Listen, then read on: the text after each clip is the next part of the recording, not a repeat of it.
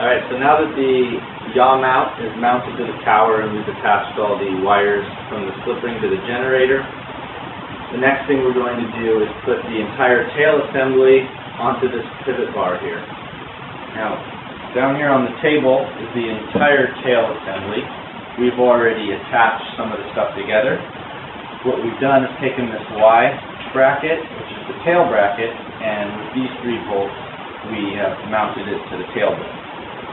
And this bracket has four more holes in it, and we use those holes and bolts to attach the directional tail to the tail mounting bracket. And those three parts together make up the entire tail assembly. So once you have all this stuff in the back bolted on, the tail assembly can be put onto this pivot bar.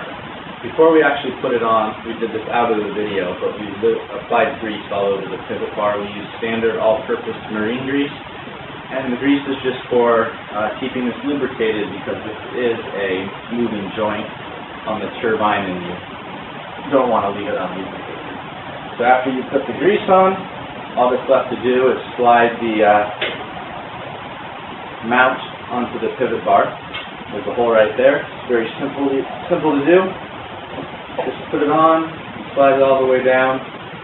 The only thing you need to really look out for is make sure you slide it all the way on, and that's easy to confirm, as you can see that it's all the way on.